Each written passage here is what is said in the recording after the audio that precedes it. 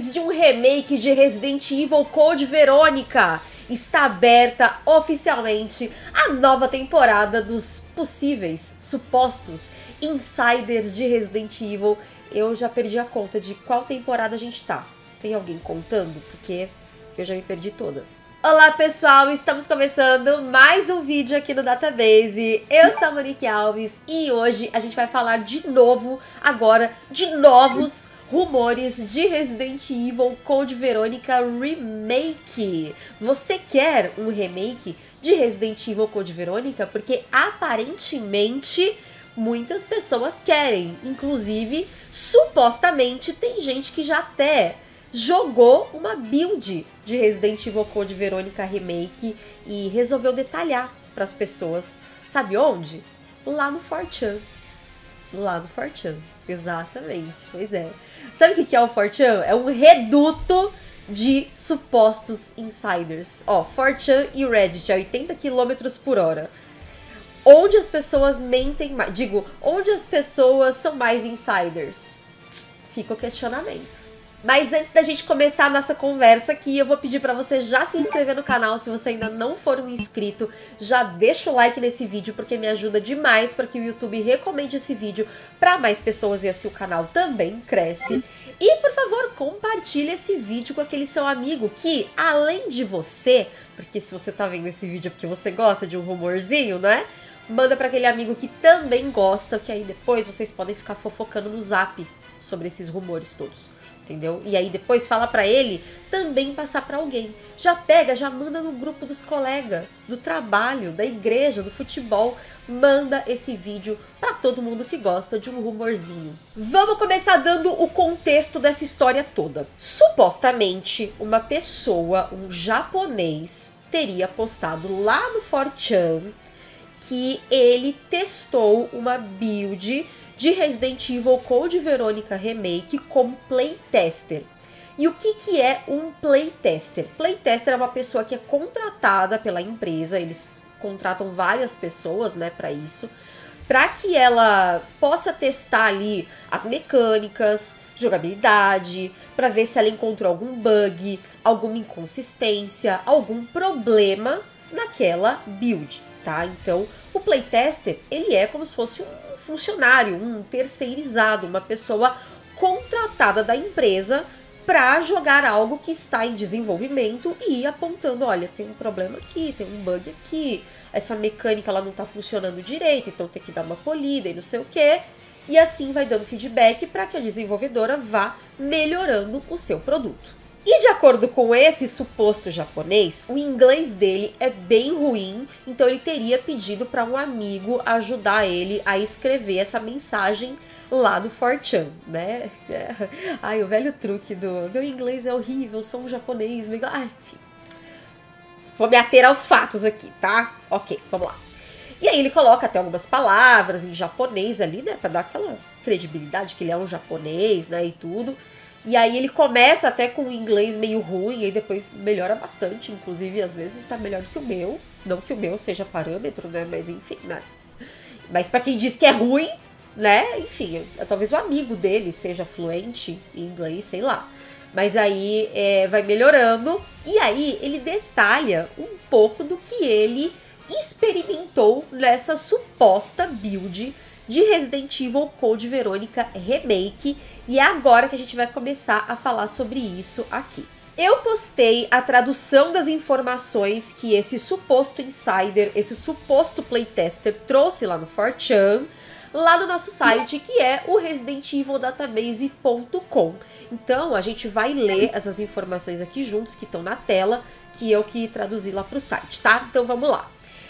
Ele começa dizendo que é uma história sobre Claire Redfield na ilha Rockfort, que é um jogo e que é um jogo em terceira pessoa similar a Resident Evil 2 Remake, né? Porque lá no Japão eles chamam de Biohazard RE2, né? RE2, né? E, e aí para eles seria algo tipo Biohazard RE2, né? Então eles, os japoneses chamam assim. O jogo começa com um prólogo onde Claire se lembra de Raccoon City e vemos uma explosão. vamos parar por aqui rapidinho só comentar. É, ela se lembra de Raccoon City, seria uma coisa meio a abertura do Resident Evil 4 remake do Leon se lembrando de Raccoon City, algo assim. Uh, e aí vemos uma explosão. Claire está procurando por seu irmão e começamos com uma sessão tutorial dentro do prédio da Umbrella. O jogador controla Claire entrando em alguns escritórios e quando escapa dos guardas, ela é capturada e mandada para Rockford, que é basicamente o que a gente vê na abertura do Code Verônica original, mas que aqui seria algo jogável. Então a Claire estaria ali investigando a, a base da Umbrella em Paris, né, a sede da Umbrella em Paris e tudo, e aí ela é capturada e é levada para Rockford, tá? E aí ele continua, ó. A área da prisão é ampla, com muitas celas e salas de guardas. Quando o novo personagem Rodrigo a deixa ir, ela encontra um militar de roupa preta, mas ele é morto pelos escombros caindo da explosão, porque estão rolando as explosões, porque a ilha está sendo atacada, né? A ilha é atacada, Claire foge, mas no final da parte da prisão, ela encontra Steve em uma cela e ele pede a ela para deixá-lo sair. Claire fica hesitante, mas decide que se ele for contra a corporação, então ele não é um inimigo.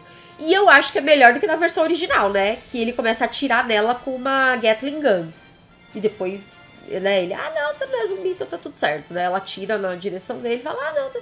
Então, assim, eu acho que seria legal essa, essa versão aqui. Eu acho que seria um encontro mais interessante uh, da Claire com o Steve. Então vamos seguindo aqui. Uh, eles fogem juntos e entram em algum tipo de sala segura, né? A, a safe room. Aqui o jogador pode trocar livremente de Claire para Steve. O jogador pode explorar as próximas áreas como qualquer um dos dois personagens, e cada personagem tem as suas próprias habilidades. Essa parte eu já não sei se eu gosto tanto, porque eu acho que assim, você no Code Verônica, você joga com a Claire, você tem o trecho da Claire, depois você tem o trecho do Chris, né? E se você pegar o trecho da Claire e dividir o trecho dela com o Steve, eu não sei se é legal. Eu acho que é legal você ter uma sessão com o Steve, assim como você tem no jogo original, de repente ampliar essa sessão do Steve, mas não ficar fazendo essa troca, que seria algo meio Revelations 2, né? Que ah, você pode trocar da Claire pra Moira a qualquer momento, né, do jogo. Eu não sei se eu gosto muito disso, sabe? Mas, enfim, né? É o que o suposto playtester está supostamente viu nesse suposto nessa suposta build desse suposto remake de Resident Evil Code Verônica. Nossa, muitos, muitas suposições aqui nesse vídeo. Tá, continuando. Claire é melhor com facas e a sua mira é melhor. O Steve pode atirar com duas armas ao mesmo tempo e correr mais rápido, mas não sabe misturar ervas. Pode jogar facas à distância no inimigo não sei o que dizer sobre isso. Não sou capaz de opinar. A Claire é melhor com puzzles, pode dar dicas ao jogador de como resolvê-los e às vezes consegue ver itens escondidos. Essa questão dos itens escondidos também é uma coisa que me lembra muito o Resident Evil Revelations 2, que na verdade quem faz isso é a Moira, né? A Moira consegue com a lanterna ver os itens escondidos pelo cenário. Então seria algo assim. Nossa, então teria muita inspiração em, Revelations 2, né? Esse, esse Code Verônica Remake, né? Enfim. E ele conclui dizendo que a demo acaba quando eles chegam ao palácio. Então, basicamente, essa demo, essa build, seria só do começo ali mesmo, na parte ali da, da prisão. E que quando chega naquele palácio, né, que a gente vê aquele quadro grande, né, do, do Alfred, assim, no hall, aí acaba ali, acabaria ali essa build. Na minha humilde opinião, eu acho que esses rumores jogaram muito safe, tá? Porque é, eu venho falando bastante sobre isso, que eu acredito que para eles fazerem um remake do Resident Evil 5, que é inevitável de acontecer depois do, do final, né, do pós-créditos ali, do Resident Evil 4 Remake e principalmente do Separate Ways, que é a DLC do Resident Evil 4 Remake, o remake do Resident Evil 5 ele é realmente inevitável. Mas eu acho que para poder fazer um remake do Resident Evil 5, seria melhor, o ideal seria fazer um remake do Resident Evil Code Verônica primeiro. porque no Code Verônica Remake seria estabelecida a rivalidade entre o Chris e o Wesker.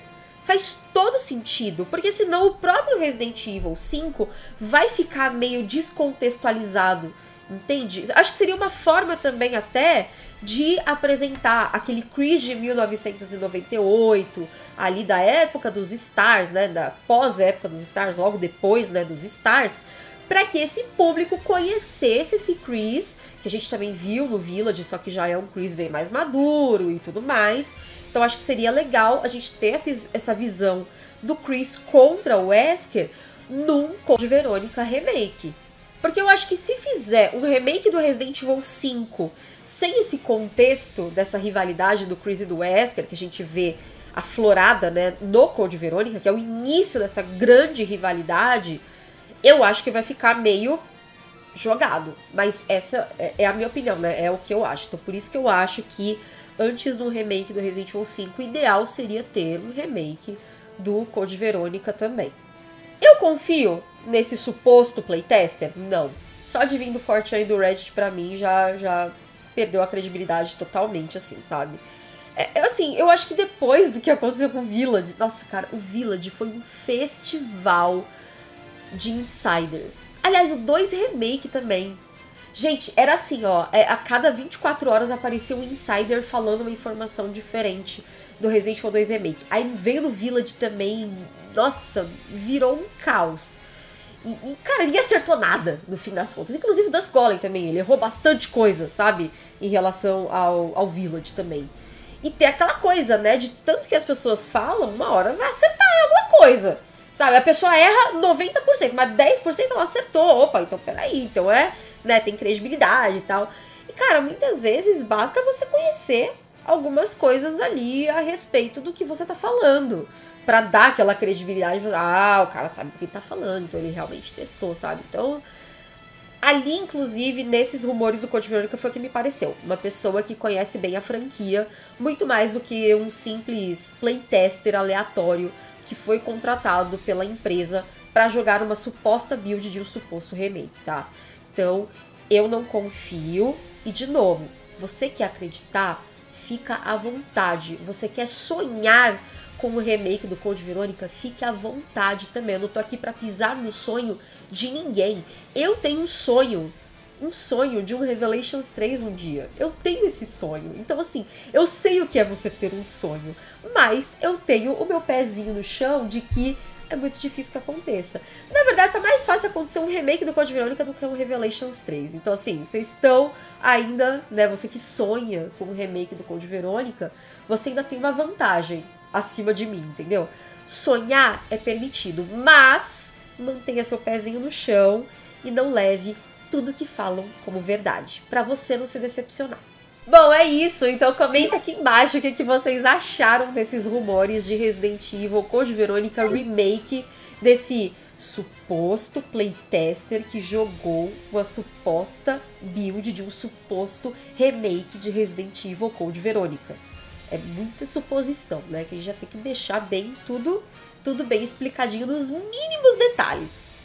E eu quero saber de você. Você quer um remake de Resident Evil Code Verônica? Você sonha com este remake? Você quer que ele aconteça? Então comenta tudo aqui embaixo que eu quero saber a opinião de vocês. E se você gosta do trabalho que eu faço, considere se tornar membro do nosso canal aqui é só você apertar no botãozinho Seja Membro aqui embaixo do player. Se não tiver esse botãozinho, tem o link na descrição também. E a partir de R$ 2,99 por mês, você já ajuda para que o Resident Evil Database continue existindo, porque são vocês que fazem o Resident Evil Database acontecer. Eu vou ficando por aqui.